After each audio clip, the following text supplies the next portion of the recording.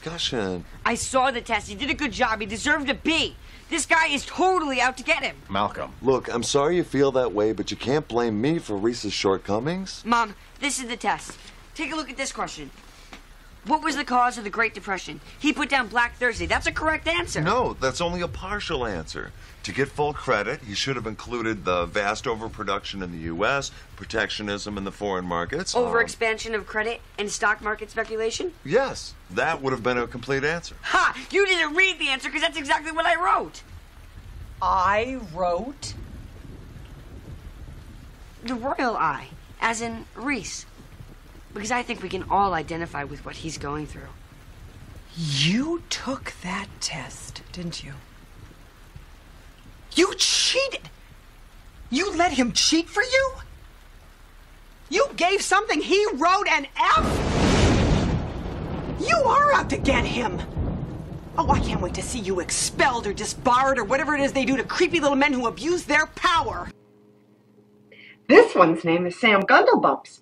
He grew up on a farm where he was friends with a turkey and a duck. He can't see very well, so he's always getting lost. It'll be okay, Lois. We're gonna find Reese. Look, he picked flowers. He's going to courting. There. Susan, please, just take the kidney. I don't want to lose you. Okay, you know what? Can you do me a big favor and just stop pretending like you care about me? What?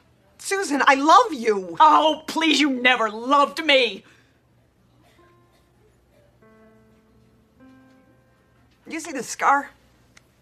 When I was six and you were four, Dad said we didn't get dessert because we were bad. And you dumped his pudding on his head and said, Yeah, well, neither do you.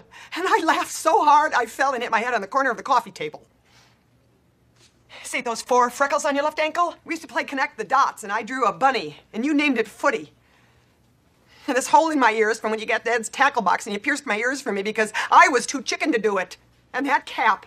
And your tooth is from when Sidney Bauer called me a bitch and you beat the crap out of her and didn't think I ever knew about it.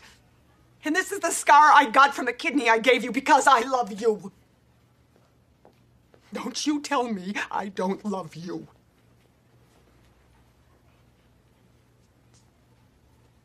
Oh, for God's sakes. All right, give me the damn kidney. Guilty. It's confusing. Lois, we won the case. Now we can get our lives back to the way they were. You didn't work on Fridays? Uh, After all the sacrifices I made for this family.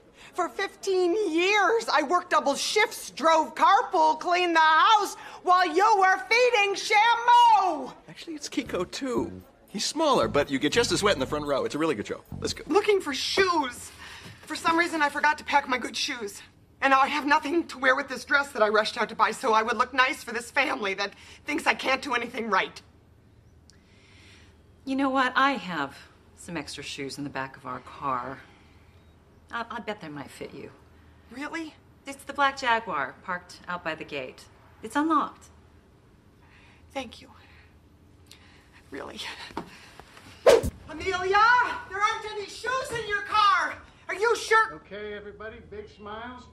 Cheese on three. One, two, three. Okay, let me get one more real quick.